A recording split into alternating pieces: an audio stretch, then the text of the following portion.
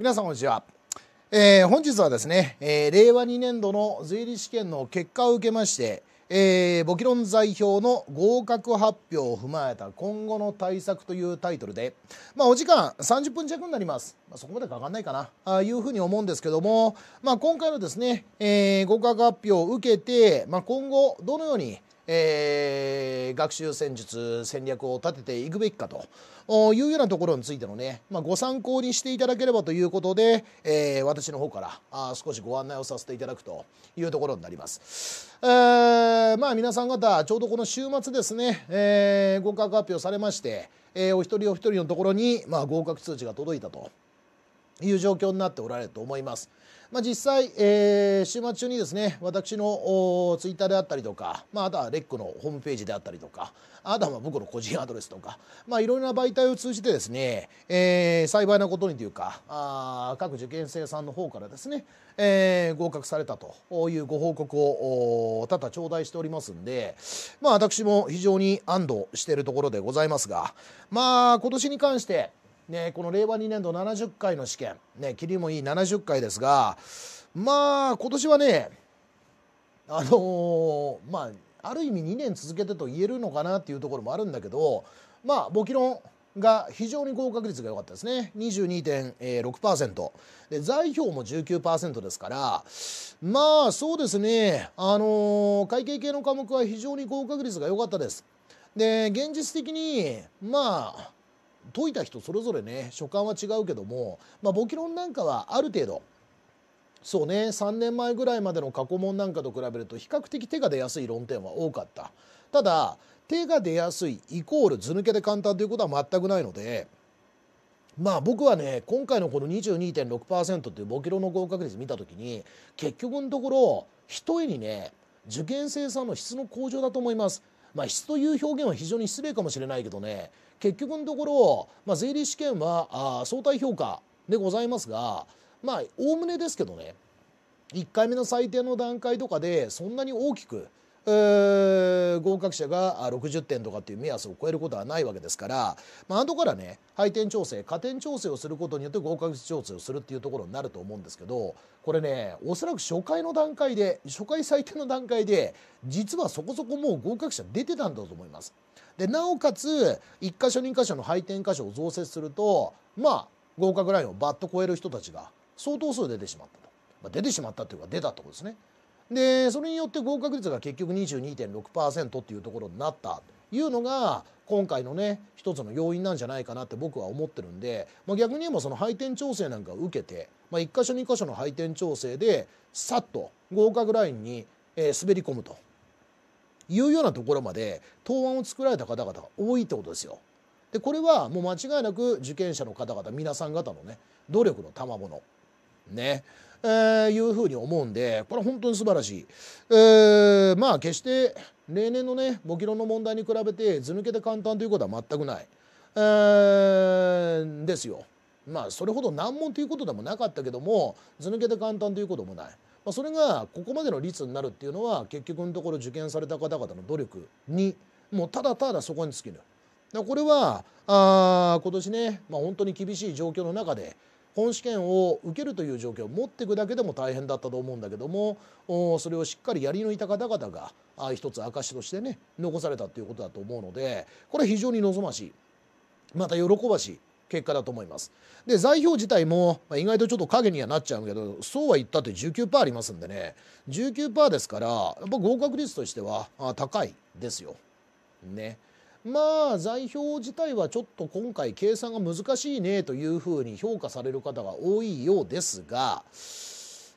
まあねあのあんなもんじゃないですかって僕は思いますけど、まあ、理論は相変わらずね書きにくいというか書けないような論点何箇所もありました。まあ、その前提からするとやっぱり今年も財票は計算が勝負のかけどこだったことは間違いない。でその中でも私の受講生さん等でやっぱり40という目標を僕のクラスは掲げるんで、えー、40超えたよいう方も、まあ、自己採点ベースではありますけど何人もいらっしゃいますんで、まあ、そういう方はねいい結果出てるみたいですね。えー、まあそれがねうまいこと回らずにっていう時も当然時にはありますけどもまあでもね、えー、全体としては非常に合格率がいい状況でした。ただまあねあの無事合格された方々は当然あの次のステップということで、まあ、例えばこれから税法をやるんだということであればすでに税法のクラスの方入られて勉強を進められてる方もいらっしゃるだろうしね、えー、またこれからね、えー、税法の選択をしてどうしようかを考えてるんだという方もいらっしゃると思います。まあ、そういった科目の選択という問題もあればまたね、えー、僕もちょっとツイッターでは書かせていただいたんですけどもあのどんだけ一生懸命頑張っていただいてもねまあ、変な話ですけど税理試験ですからやっぱりいわゆる難関なんです。世間一般でいう難関試験ですから、まあ、うまいこと試験の問題とはまらずにね一生懸命努力しても結果が伴わない時ってあるんです。で特に今回みたいに合格率が高かった時に自分が合格できなかったりすると僕は本当にダメなんじゃないかとかね。自分は本当にダメなんじゃないかとかって思われる方がいらっしゃるんだけどそれは違う。くどいだけどこれ難関試験なんです。でその時その時によってやっぱりね問題傾向として合う合わないっていうのは個人差が絶対あるの。だからあたまたま今回の問題に合致しなかった自分のね好きな傾向とか好きな形式に合致しなかったことによって点数が伸びなかったっていうことはありえるんです。で結局これっていうのは例えばね、え、今なんかだと不合格通知の中に点数が入ってるでしょ？で点数なんかを考えてもらった時に例えば50点前後具体的には50を超えてるような点数になってるような方っていうのはあのそんなにね悪い状況じゃないんですよ。そこそこ点数取っておられるわけですからこれはもうだって何箇所かですよあと。何箇所かの加点箇所を増やしていくことができればまたは見直しした時にあこれ分かった分かったっていうのをトータルしていけばもう超えるわけでしょ？ってことはそういう方々やっぱり合格水準に近いんですね。で近いんだからそういうミスを今後出さないようにしていけば確実に合格を手にすることができる。ね、でまた言うともう大きくねそこら辺のラインから下がってしまってる方々っていうのはやっぱりベースのところで失点をされてるはずだからやっぱり不合格通知に載ってる点数とか、まあ、昔はランクでしたけどねそういったものっていうのはある意味真摯にちょっとチェックをしていただいて変に重く受け止めすぎる必要はないですよ。今言った通り問題の傾向は合わないはあるんだから。あそれはあるけどもやっぱり、えー、そこら辺は少し捉えていただいてね。ちょっとこの得点状況からするとやっぱり基礎論点大きく失点してないかとか。あそういったところをしっかり自分なりに分析をした上で、えー、次へのステップ。これをやっぱり考える。いうことは必要だと思うんだよね。で特にまあ不合格になられた方々はじゃあ来年どうしようと。もう一回簿記論財表同じような勉強をするっていうのも一つの選択肢。または受験経験があるから受験者前提の上級クラスを選択するっていうのも一つだろうし。ね。はたまた受験勉強はもう一旦やったからとりあえず何もやらないで上、えー、答練だけ受けるとか。そういう選択をされる方も現にいらっしゃる。じゃあここら辺をどうしようかね。いう話になるんでじゃあ先にね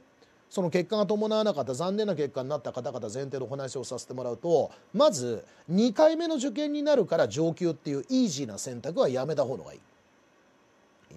えー、基本的に受験経験者を想定しているこのいわゆる上級クラスっていうのこれどこの学校さんでもやってると思うんですけどもあの上級クラスっていうのは本当にギリギリのラインで不合格になってしまわれた方が受けるべきクラスであってあのそこに達してない方々は基本的に僕は上級はやめた方がいいと思う。あの1回やったことあるから上級それはあまりにも安直で結局それをやってしまうとねお金と時間の無駄な無駄で終わることが結構あります。まあ、例えばだけど採点結果としてねやっぱ20点台とかっていう時もあると思うのよ。で20点台30点台とか40点台前半とかって話になっちゃうとこれやっぱりねあの基礎論点まあ、僕は授業中によく言うけども要は簿記の3二級で見たことあるような論点が税理士レベルにガーってね深く深く掘り下げられてる問題っていっぱい出るじゃない。出るでしょ？ああいうところの失点が多いからその点数になるんです。わかります？本当に難易度が高い論点で大きく失点してそこまで落ちることはないですよ。絶対ない。でそういう点数が生じるってことはまあ端的な話ですけど商品売買現預金の処理有価証券評価有形無形の固定資産に関する取り扱いまあ、減損とかも含みますけどね。そこら辺の話も軒並み取れてれば絶対そういう状況にならないんです。でそこら辺で複数箇所にわたって点数落としてる。で複数箇所にわたって点数を落としてしまってるからこそそういう得点状況になってる。であるならば今やらなきゃいけないことは何ですかっつったらその基礎論点の再構築なんです。ね。そこは意識しなきゃダメよ。ね。だ結局、まあ、そういう方おそらくね振り返っていただくと思い当たるところもあると思うんだけど東連なんかをやった時にじゃあ固定資産売却に関する修正が入ってました。間違えました。回答見ました。ああここだここだ。分かった分かった。じゃあ次。言ってませんか、ね、それはダメなんです。それではダメなんです。いいですか？見たことある論点馴染みのある論点だから間違いが出た時に回答解説も見ればすぐ自分で対応できるような気になる。でもむしろそういう論点こそ重く受け止めなきゃいけない。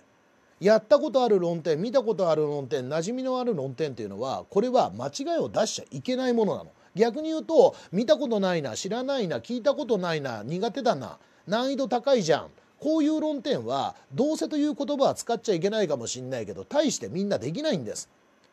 ってことはそこができないことで落ちてるんじゃないんだよね。そうじゃないんですよ。合格する人たちってのはそういう論点。3 2級で見たことあるような論点を深く掘り下げてる税理士簿記論とか財表に引き上げた。こういう論点をまず落とさないんです。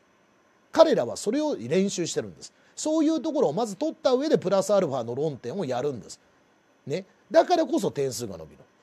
で結局のところその土台のところが固まりきってないのに上のところとかをいろいろ見ようとするから結局ね土台が揺らいでんの上のところに重い話ばっかり乗っけたって建物だって何だってそうでしょ？ぐらぐらぐらぐら揺らぐだけで結局全全体ができたと思ったらすぐ倒壊しちゃうんですよそんなもん。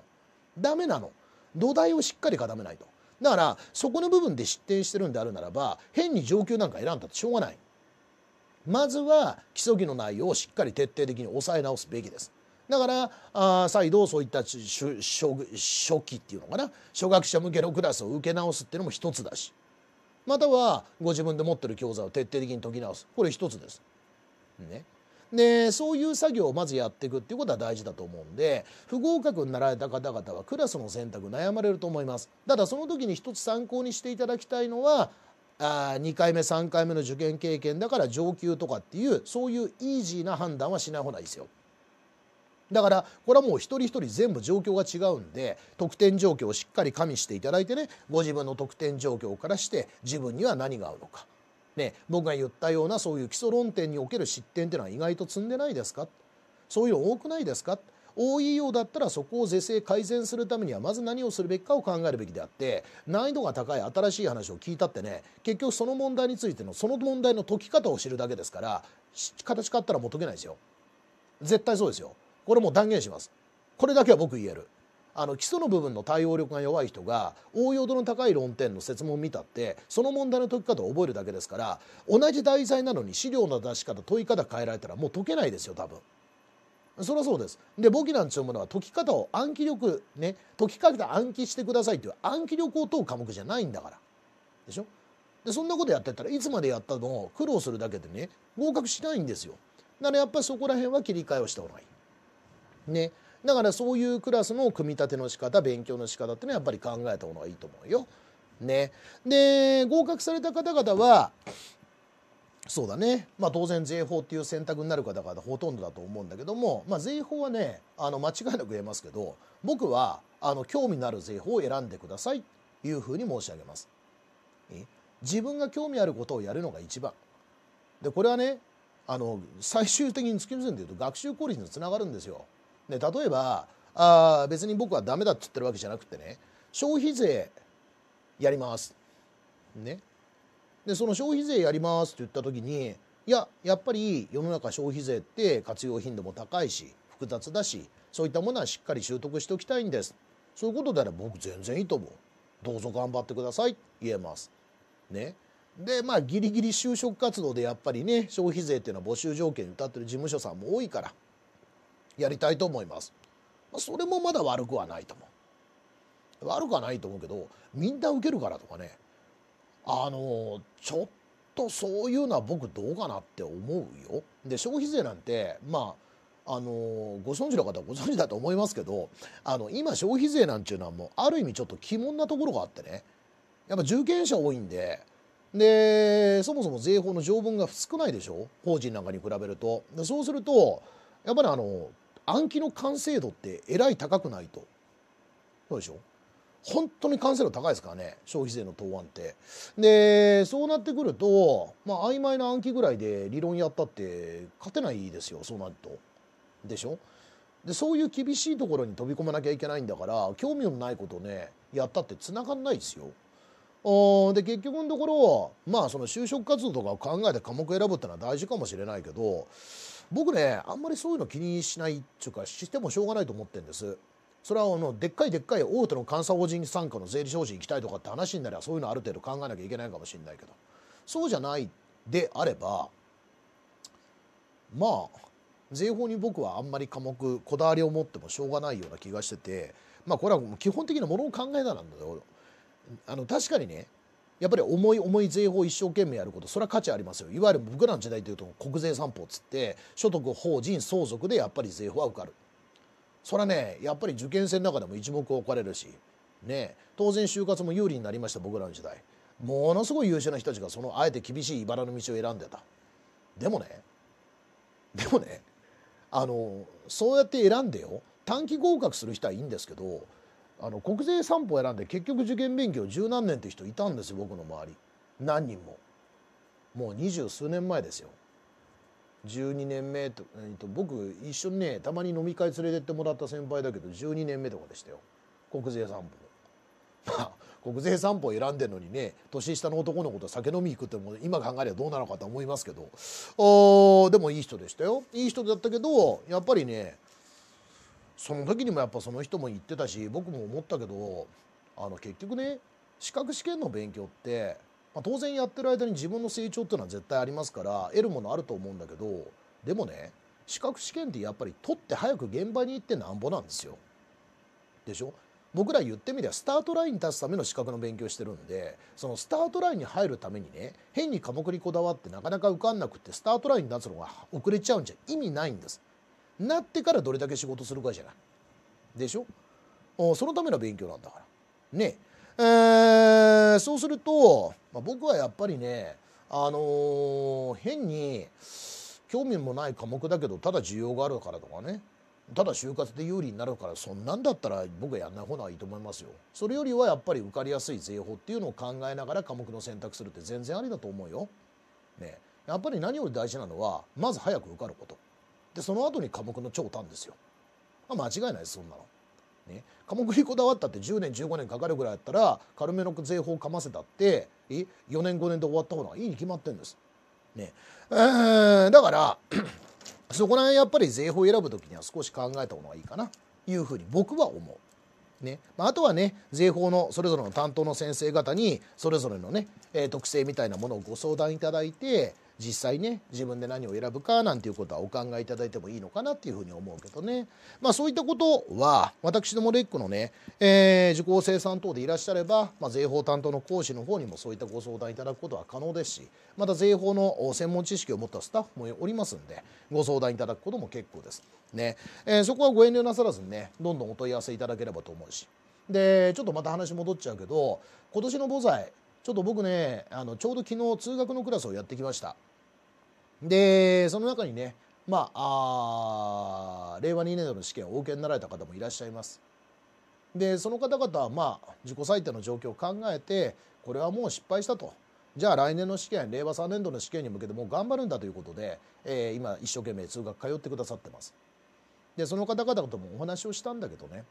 あのー、今回の合格率は高かったです。簿記論材表高めです。でさっきも言ったけど高めの時に受かんないと余計に落ち込むし余計にへこむ時がある。でもね合格率が高かった低かったなんていうのは実はそんなに大きな問題ではない、ね、やっぱり問題にはさっきも言った通り合う合わないがあるんです。一生懸命頑張ってでも自分の得意な分野が弱ければ出てる数が少なければ点数は相対的に伸びないんです。それだけのことなの。だから点数があごめんなさい合格率が高かったイコール誰でも彼でも受かるってことではない。で結果としてそこで受かんなかったからといってじゃああなた方が1年間勉強してきたことが無駄なのかあ全くもって合ってないのかそんなことはない。そういうことではない。それで判断をしてはいけないんです。だからさっきの得点状況なんかをしっかり見てね、もう正直で50ちょっと超えてるよとかっていうラインになってればもう合格者大して変わんないでそういう方であれば例えば上級なんかを通じてね演習量を増やしていってどんどん対応力高めていけば来年ちゃんと合格できますから。で逆に言えばそこに大きくやっぱり点数届かなかったっていう方はこれはやっぱり勉強の仕方をね基本の部分からやっぱり想定ね組み直しをしないといけないと思うのよ。ね、じゃあ僕は何をしたらいいのかって言った時に当然これはお一人お一人状況が違うと思うんでそういう部分についてはあの私どもレックの講師の方にご相談いただいても結構ですし、まあ、特に僕に関して言うと今年中はもうないかな。年明けになっちゃうけど年明けにね、まあ、新宿校で授業の後になりますがあ受講相談会1月10日かなやったりしますんで、まあ、そういったところをご活用いただいてもいいしえまたは電話等でご相談いただければねあのうちの専従のスタッフの方が対応させていただいてもしますんで、まあ、もしあの僕が役に立てるんだったら僕ご指名で言っていただければまあちょっと時間のね都合をつけるのに多少調整時間かかるかもしれないけどまああお電話でも何でもお話しすることもできるでしょうしね。あのそこはねあの可能な限り皆さん方に、えー、役に立つんだったら僕はあやっていきたいなと思うんでまああんまり大したことは言わないですけどね。あの あれなんですけど。あでももし機会があればねそういうものを使っていただいてご相談いただければいいと思うよ。まあ一応ね結果が出たんで、えー、少しこれからどうするかっていうことを一つ参考にしていただければということでお話をさせていただく機会を設けました。まあ今回はね特に今年はそうなんだけどあのどうしてもこのコロナの関係があるんでねあのー、受講相談会も乱発ができないんですよ。どうぞ来てくださいって言ってもねやっぱり皆さん方ね都心の人手が多いところに来るのはやっぱり抵抗ある方も多いだろうしでそれをやってしまうことによってまあ最悪ね、えー、せっかく一生懸命勉強しようと思ってる皆さん方に、まあ、そういったものねかからせてしまったなんて話になると申し訳ないんで、まあ、どうしてもそこら辺はねなかなか難しいんですけども、まあ、最低限度受講相談会も実施はしますんで、まあ、そういったものをねご活用いただきながら前向きに考えてくださいよ。ね、だから一つ言いたいのはやっぱりね、あのー、合格率が高い時にいい結果が出なかった人っていうのは必要以上に自分を追い込む。ね、それは今言ったことは繰り返して悪いけど嘘でも何でもないし方便でもない事実なんです。難関試験なんだからそういうことはある自分の得意分野と問題が合わなければ合格率が高い低い関係ないんです。やっぱり成果出ない時ってあるん？ね、でそれはあ必要以上に自分をね、えー、低評価するようなことのないようにしていただいて、まあ、当然改善するべきところは改善を考えてやっていけばいい。ね、でも本試験まで持ってったんだから。その中で点数つくようなところまでちゃんとやってきたんだから、